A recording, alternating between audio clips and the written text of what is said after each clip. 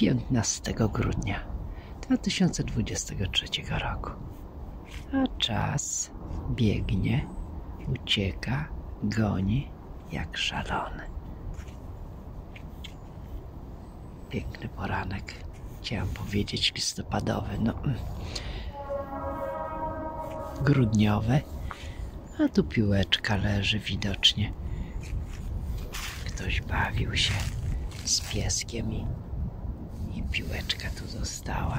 A, a, może jeszcze piesio przybiegnie po nią. Mogłabym nazwać ten poranek nijaki. Szaro, ani śniegu, ani deszczu. Po prostu nijako. Las uśpiony, ale miasto za to po prostu huczy jak szalone. I jakby trochę na przekór mam piękny temat do rozważań. Ostatnio jak zamieszczam zdjęcia na Instagramie, to to często daję taki komentarz. Jest tyle piękna. A czasami daję inny, ale ten wydaje mi się taki właściwy do każdego zdjęcia, które tam zamieszczam. A po co ja tam w ogóle jestem? Już się chyba kiedyś tłumaczyłam. O, wyobraziłam sobie, że jak tam będę zamieszczała te moje piękne zdjęcia, a tak, a są piękne, wyjątkowe, cudowne. A jakby ktoś chciał mnie tam odszukać, to podaję tam moje właściwe nazwisko, a nie panieńskie, tak jak na YouTubie. E, Anna Lichocka. Hmm. No i tam można absolutnie przekonać się o moich zachwytach, gdyż tam właśnie dzielę się z innymi moimi zachwytami. I często właśnie tytułuję ten zachwyt Jest tyle piękna. Jest tyle piękna. Trzeba je tylko zauważać. Jest tyle piękna, które stworzył człowiek. No to takie banały. Architektura, malarstwo, rzeźba. Jest tyle piękna, które stworzyła natura, które tak uwielbiam podziwiać i właściwie niewielu ludzi znam, którym byłoby to obojętne. Ale znam takich i się dziwię. Tu proszę bardzo, na dowód, że jest tyle piękna. Maleńka roślinka, gdzie liski nie opadły. Wszystkim liski opadły, a tej roślince nie.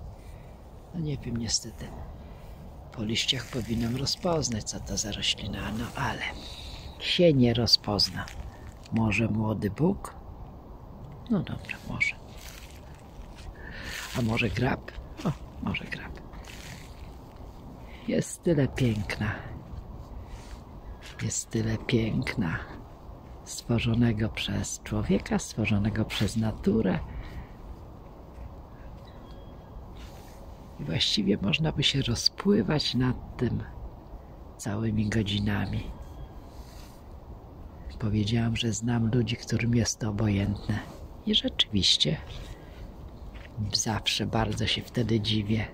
Nie mogę wprost się nadziwić, że tak może być. Że ktoś po prostu tego nie widzi, nie zauważa, nie komentuje. A może tylko nie komentuje, przepraszam bardzo. Ale wtedy taka osoba zapytana rzeczywiście stwierdza, no, no i co, no, no i co, no i te liski, no i co. Dobrze wyglądają, bo się wreszcie wyróżniają wśród tej brązowej szarości. Brązowa szarość. A niech nie ujęłabym tego tak. Ujęłabym to inaczej. Jest tyle piękna, delikatnego, czasami niezauważalnego.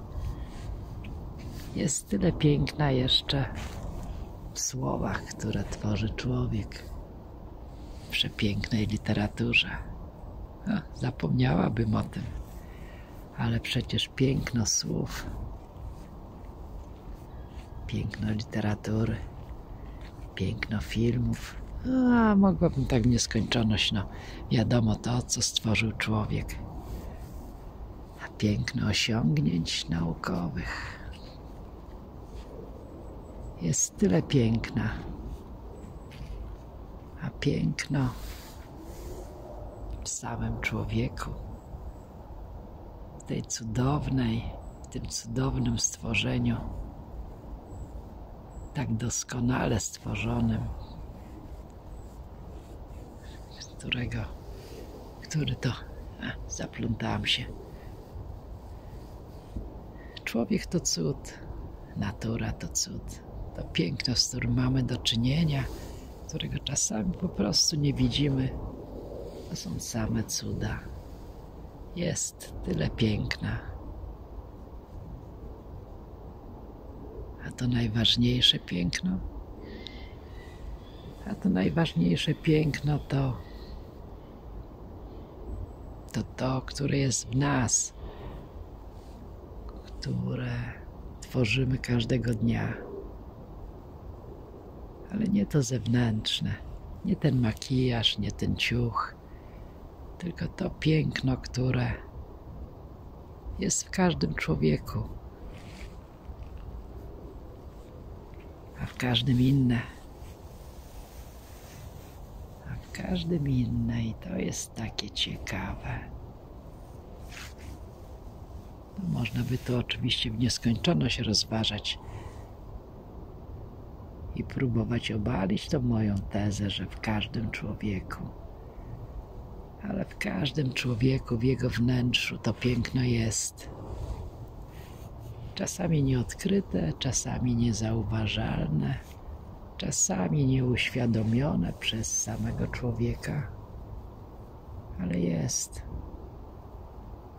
Oczywiście nie mówię o tych ludziach, którzy czynią zło, bo wtedy można by rozważać, czy piękno jest również w nich może jest.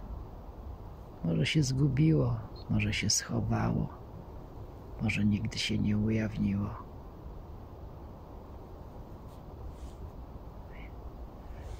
A jak to piękno się objawia? Przez piękne myśli, przez piękne słowa, przez piękne czyny,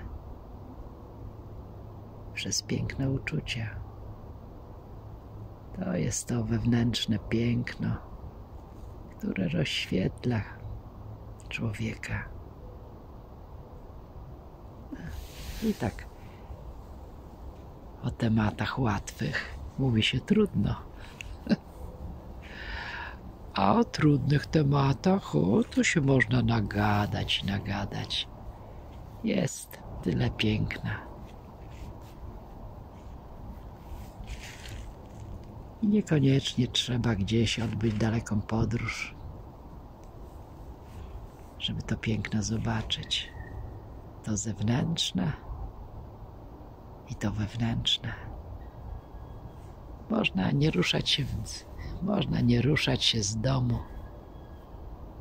żeby być uczestnikiem tego piękna, świadkiem tego piękna, w tym odkrywaniu w tym cieszeniu się nim, w tym rozświetlaniu każdego dnia, przez zauważanie, przez uświadamianie, przez budowanie i tworzenie. No to tyle w tym temacie. Prawdopodobnie można by więcej, można by szerzej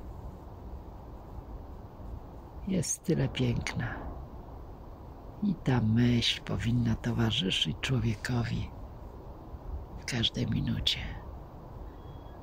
Jest tyle piękna na tym pięknym świecie i tym zewnętrznym, i tym wewnętrznym.